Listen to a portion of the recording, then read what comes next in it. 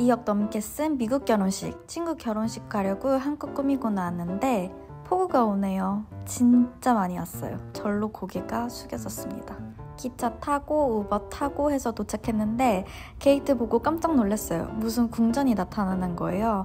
그래서 기대감이 점점 올라갔답니다. 원래 야외 웨딩이었는데 날씨 때문에 실내로 급하게 바꿨을 텐데도 안에가 정말 너무 예뻤어요. live music이 있었고 밴드가 있었어요. 너무 근사하죠.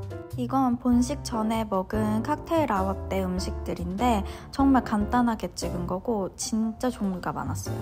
Fit check 여기가 저희 테이블. 친구가 웨딩 때 정말 데코레이션에 신경을 많이 썼다고 했는데 정말 느껴질 수 있었어요. 이런 하나하나의 디테일 미쳤죠? 근데 진짜 미친 거는 음식이었어요.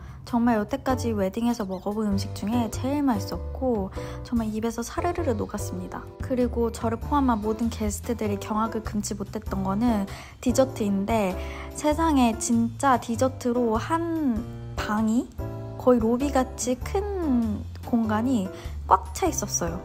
선물도 들고 총총총 집 갈 때는 그냥 우버 타고 한 번에 왔어요. 너무 피곤해서. 미국 결혼식이었습니다. 안녕!